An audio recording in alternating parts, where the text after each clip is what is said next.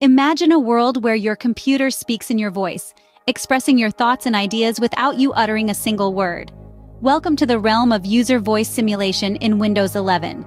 This innovative feature, currently under testing by Microsoft, has the potential to revolutionize our interaction with digital interfaces. But what exactly is user voice simulation and how does it work? User voice simulation leans heavily on text-to-speech technology, a field of artificial intelligence that generates natural speech from written text. For this feature to function, users must train the system to mimic their unique speech patterns by recording and submitting several voice samples. Once trained, the system can substitute the user in online meetings or personal conversations, articulating the written text in the user's voice. This not only saves time and effort, but also allows users to maintain their privacy. The benefits of user voice simulation are manifold.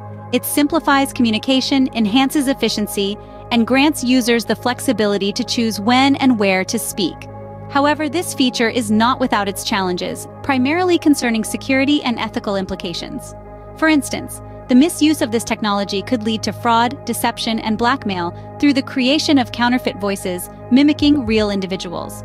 Further, there is a risk of system hacking and illicit use of user voice data, Therefore, it's incumbent upon Microsoft to establish clear guidelines and safeguards to protect user privacy and prevent misuse. In summary, user voice simulation in Windows 11 is an innovative and potentially beneficial feature, but it requires substantial development before it can be safely and widely adopted.